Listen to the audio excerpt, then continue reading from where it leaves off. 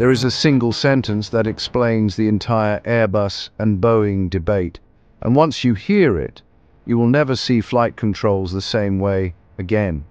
Most people argue about systems, side sticks, yokes, automation. But none of that is the real divide.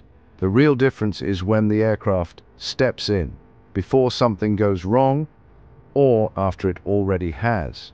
Airbus, design philosophy in one sentence.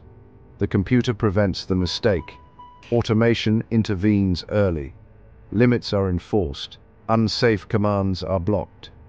The goal is simple. Do not let the error exist in the first place. Boeing, design philosophy in one sentence. The pilot manages the mistake. Authority is preserved.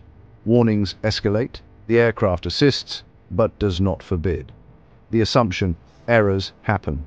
Recovery is the skill that matters. This is not internet debate. It is documented design intent. Two manufacturers, same certification standards, completely different answers to the same question. Do you stop the mistake or trust the human to handle it? So which philosophy do you believe in? Prevention over permission or authority with responsibility? Should the computer save you before you realize? Or should the pilot always be allowed to fix it?